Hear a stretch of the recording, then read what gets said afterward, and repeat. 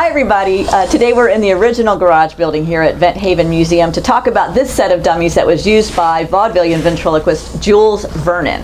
Uh, Jules Vernon emigrated from India to the United States and performed here in the early 20th century. So I know I've heard about Vernon, I know about Vernon, I know about the figures. What was the single most interesting fact about Jules Vernon? He went blind as an adult. Jules Vernon went blind when he was 51 years old, and by that time he and his wife had this act very well established, and she didn't want, they didn't want anyone to feel sorry for him. So she would set his dummies up for him on stage, and then she'd go off into the wings, or she would whisper to him about how to get out on stage unassisted. So I think that's a remarkable tale that he did not want anyone to know about that or feel sorry for him. And there's this old wives' tale that's been floating around for years that we have oh. found no confirmation of right.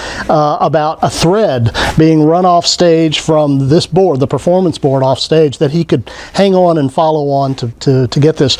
But in fact, as often as that story has been told, we can't find any confirmation no. that that was really the case. No. Apparently, his wife Minnie whispered and said, Not that way, you're going to fall into the pit. I think it was probably more succinct direction than that. But maybe. But maybe it was just a caution about the pit, Tom. Could be. Let's talk about the dummies because I think me, they are so cool. Tell me what you know. Now, there, we should note, and you'll see a picture here in a moment, there's one figure missing, but Vernon didn't even have that figure himself the last number of years he's performed.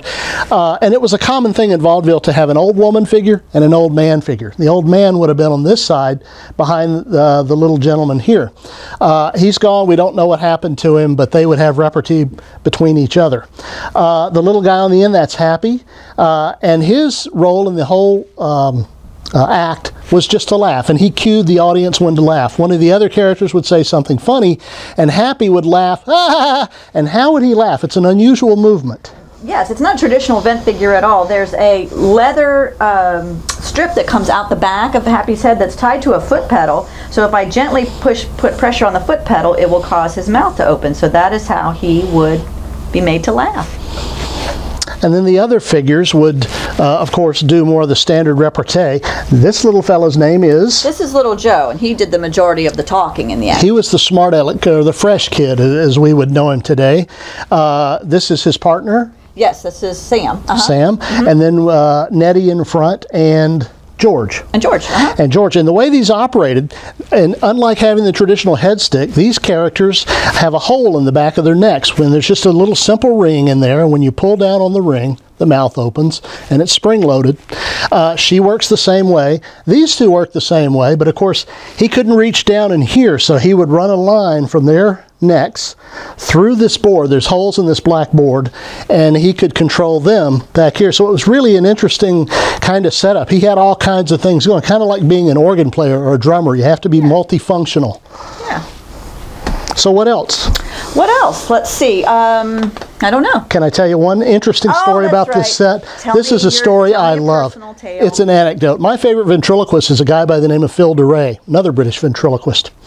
Phil DeRay saw Vernon perform with this set when he was just a kid, like five years old. 60 years later, Phil DeRay came to visit WS, and this would have been in the 1960s here at uh, Vent Haven.